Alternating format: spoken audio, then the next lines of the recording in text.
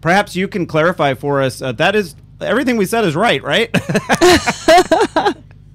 well, I believe it is right. However, um, artichokes were voted the official food, and uh, oh. Lieutenant Governor Newsom, uh, in deference to a lot of the other commodities, uh, decided that we would be the official vegetable. Oh. So we're satisfied with vegetable. we, we, we think that it really suits California because artichokes are sort of, you know, tough looking on the outside, strong, but really have a great heart on the inside. So oh, I love that. That's true. Are, are you still on a regular basis encountering people who don't even know what an artichoke is? I would say that um, 60% of the U.S. population doesn't know what an artichoke is. Wow. That's amazing and to off, me. Mm-hmm. Yeah, oftentimes they confuse it with the Jerusalem artichoke, which is a root vegetable. Oh, so we've got all kinds of confusion out there. Interesting. Well, uh, I'm someone that even hosts a farmers market show, and I didn't realize that the Jer- Jerusalem artichoke and the artichoke were two different species. I mean, two different, yes. like completely different. Uh, wow. They they definitely are. Jerusalem artichokes are root vegetable, uh, sort of like a sunflower uh, grows off them, and the root is the edible portion. Oh. It's an American vegetable, mm-hmm. whereas artichokes uh, were brought in by those romantic people like the the Italians and the Spanish, and you know, such as that. So sure uh, flourishes here, though. Yes, uh, we have that Mediterranean climate right along the central coast here, which is uh, all that an artichoke needs. It doesn't need weather that's hot, and it doesn't need weather that's really cold. It doesn't need too much rain, doesn't need too much sun. It sort of likes that dull gray stuff Perfect for where it grows in yeah, Watsonville and Castro. Exactly for where it's where it's thriving. Yeah. so now that it's been elevated to being the state vegetable, um, do you think this is going to have any influence over like marketing and in those kinds of things? Is it going to give the artichoke a boost? Well, we certainly hope so. It's folks like you that are going to give it the boost. Yeah. we find uh, a lot of interest in, in, in the fact that we've got an official vegetable. Mm-hmm. Uh, you did know that we were the official vegetable of Monterey County. Oh, I assumed. Yeah. That makes sense. Oh, yeah. That was yeah. That was done in about 1985. And so uh, California's a little bit behind Monterey. Yeah. well, the artichoke, it's it's nothing new. I mean, uh, Marilyn Monroe was the artichoke queen uh, well before she even became a movie star. So that tells you it goes back quite some time. Uh, well, yes. right? Yes, she she was a starlet in 1948, and the artichoke growers, who know a good thing when they see it, decided they're smart. yeah, decided that she would be perfect as an artichoke queen. Of course, uh, you know, we, little did we know that uh, she was going to become the fantastic star that she did. And I, once again, we hitched it to the right star. That was smart. I love it. I think it's fantastic. I'll tell you this: uh, we are bringing. We're going to Pat. We're going to have you stay on the line during the commercial break, and then we're going to talk about because we're entering artichoke season. Mm-hmm. So we'll talk about how do you pick a good one. And what do you do with it after you got it? And then we'll talk a little bit about the big event coming up next month to celebrate mm. the artichoke there in Monterey County. You're listening to the All Eat, right. Drink, Explore Radio Network. We're back in just a moment.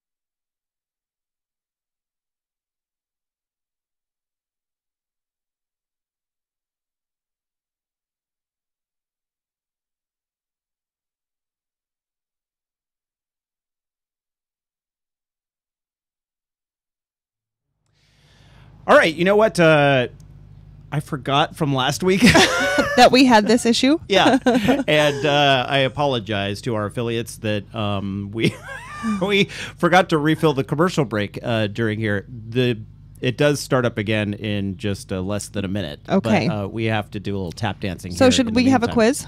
Yeah, quickly, Patty. What is the? Uh, you were asking me. What's the state fish? The state fish, yes. Do you know? The well, now I do. Golden trout. Oh yeah, golden trout. Did I say that? Okay. Yeah, I did. Only yeah. How about the state flower? the California poppy? Good, good. Mm-hmm. Um, state folk dance. The West Coast swing. That's the state dance. The state Oh. folk dance is square dance. Uh, we in have two- California. we have two dances. what about the state rock? The state rock uh, is serpentine. Yes. It's actually, we call it serpentine, but it's a serpentinite, is what I'm told by geologists. That we, Oh, al- okay. that we always miss say it. Do you know that we have a state fossil? No. Yes. Can you guess it? Quick. Saber tooth cat. Oh, that's right. And, and it was found outside of San Diego. Uh, I know that much. Uh, that's it, Yeah. Patty. We're back in two minutes. The Eat Drink Explore Media radio show you are currently enjoying is in a local affiliate commercial break. Live programming will return shortly. Did you know you can watch a live video simulcast of our Sunday morning and Thursday evening shows from your computer, smartphone, or tablet device? And to top it off, it's free. Simply head to eatdrinkexplore.com or download our free app from the Google Play or Apple App Store. If you have a suggestion for an upcoming guest segment, send an email to radio at eatdrinkexplore.com. We're always looking for fresh ideas, including yours. We love to share fresh, local, organic, seasonal, and sustainable ideas throughout the week. And the best place to find those are on our Twitter, YouTube, and Facebook feeds. Our username across the social networking universe is simple Eat, Drink, Explore, all one word. Hey, college students, Eat, Drink, Explore Media is always looking for qualified journalism or marketing interns. Send us an email today so we can check your status and put you on the list for upcoming intern vacancies. Would you like to hear this Eat, Drink, Explore radio program on one of your local radio stations? Let the station know and contact us as well so we can get the ball rolling.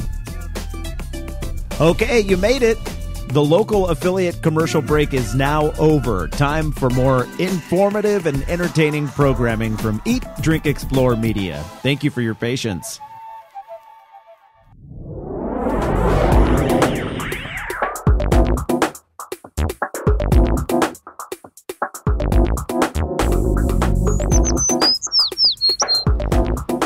Do you hear the bird chirping, Patty? Tweet, tweet. Tweet, tweet. Good morning, everyone. Great to have you with us. Uh, you are listening to the Eat, Drink, Explore Radio Network. I'm your host, Randall White, joined by the lovely, talented Patty Pyburn. And speaking of tweeting, I highly recommend that you check out our Twitter feed, uh, which grows constantly. We're almost at 2,500 followers now. Uh, it is real simple twitter.com slash eat drink explore. And we don't just tweet our own things like some people do. We retweet things we think you'll find interesting uh, from a wide variety of uh, organizations most of them here in california some of them outside the state. But uh, it's a rich source of information. So uh, twitter.com slash eat drink explore. We think you'll like it. All right 20 minutes now past the hour. We're talking artichokes, California artichokes, the official state vegetable now here in the state. And uh, we're joined by Pat Hopper. She is with the California Artichoke Advisory Board. You can find them online, artichokes.org. Pat, welcome back to the program. Well, thank you very kindly. Is there a. I- Oh, go ahead. You were going to say I just interrupted you. I'm all set and ready to go. Oh, uh, good. Tell you about the. We got lots of artichoke lots of questions for you. Yeah, I'm curious. Okay. Is there a trick to um, buying an artichoke? I always just look for the biggest one. if they sell them, you know, like if it's a dollar two dollars a piece, whatever. Uh, I always just look for the largest one. But should I be looking for something else, like coloring in the skin, the length of the stem, stuff like that? Well, you know, um, there are so many variables. It depends upon what you want to do with your artichoke. I myself uh, prefer the artichokes of the smaller size because you can really work with those. You can trim them down to hearts very easily, and uh, also steam them like you would a big artichoke. So um, it depends upon what you want to do. Now, as to color, very often artichokes vary according to the time of the year because the sun affects them, uh, what little we get of it, and um, it also um, makes the artichoke a different shape. Like a- in the spring. Go ahead. Oh, I was going to say the color. Uh, you sometimes you see some purple, right? Mm-hmm. Yeah, the, you'll find you'll more purple during the um, summer and early fall months Okay. with a green globe artichoke. Now there are other artichokes out there that are purple. There's a gorgeous purple artichoke out there, and uh, you know it, it will never never be green. Um, I find that with the old-fashioned green globe artichoke, that's the one that was grown here and is grown here uh, since the Italians brought it over in the 1840s Oh. in the gold rush. And uh, this artichoke uh, will be sort of really globe-shaped in in the spring uh, and late winter. All nice and fat and plump, and in the summertime it'll be more conical in shape. You know, it wants to sprout up towards the sun, and its petals open up a little bit. So it's a little uh, the looser. outside. Interesting. Hey, Pat, I have a question for you. With those smaller artichokes, do they have less of that stickery, thistly, um, spiky stuff in the middle? Well, a little artichoke, which we call a baby artichoke, which is a misnomer because it'll bloom before it gets any bigger. Um, the, its size is determined by where it is on the plant. So you've got those little baby artichokes hiding down inside the plant. And these guys are picked before they would start to blossom. And an artichoke, when it blossoms, has that, you know, that fuzzy stuff that's in the center Yes. of a big artichoke. That artichoke. you can choke on if you don't get rid of it. Uh oh, shame on you. Ah, Oh, really? I was told that you could. Well, you know, it uh, it's sort of like this, Randall.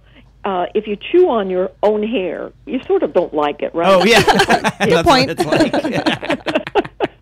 you don't try to swallow that. Then this is this is hair-like, so you really don't swallow that either. I know. think of Uh, it the same way I think of that little thing that's at the base of the banana. I was just Yeah. told by my parents, Don't eat ev- it." Don't ever eat that. Yeah. So well, back to that baby artichoke. Yes, um, the inside of a baby artichoke is completely edible. You know, those things in cans called artichoke hearts. Mm-hmm. Uh, they come from little artichokes, not big artichokes. oh, So you'll notice in those, if, if you get a whole one or a half of one, you'll see that tiny little, tiny bit of fuzz at the bottom. It's completely edible. I- it's soft and tender. I Yeah. was told by a grower in the Lompoc region at a farmer's market in uh, Templeton that told me she had some of those baby artichokes out, and uh, she said you can stir fry these and uh, eat the whole thing. And I was like, wow, that's great. So I was going to ask that same question, Patty, about, about the little spiny things inside. yeah. Now, well, Pat, when you say when you say the whole thing, uh, no, you can't eat those hard uh, petals on the outside. Oh, okay. You, prob- you have to strip off a couple of uh, maybe a layer of those outer petals, and then you cut the top of the artichoke off. You know, because that's that's hard green. With an artichoke, anything that's green. Dark green Mm-hmm. is inedible. Anything pale green and yellow is edible, unless it's the hairy like fuzz. Okay, on a Right. big artichoke. Purple and green are not edible. I bought a huge artichoke at the farmer's market a couple of weeks ago, and it had an enormously long stem that was uh, really uh, good size in Mm-hmm. diameter. I want to say more than an inch in diameter. And uh, the woman told me, You can eat that whole stem. It's an extension of the heart. And I was Wow. like, Really? So I popped it in the pressure cooker because that's how, I, with a little olive oil, that's how I was taught to make them. And, uh, Sure enough, I could eat that whole stem and it tasted just like the heart and it was delicious. There was a little bit of fiberiness on the direct outside, outside layer. So maybe if mhm. I had just pulled away like or shaved away a labor a layer or so, but it was it was like the it was like an extension of the heart. Uh, Randall, Yeah. that's it. What you have to do is peel it like you would broccoli. Mm, Oh, okay. okay. Broccoli stem. You just peel off that hard green. Remember, the dark green is going to be tough and fibrous.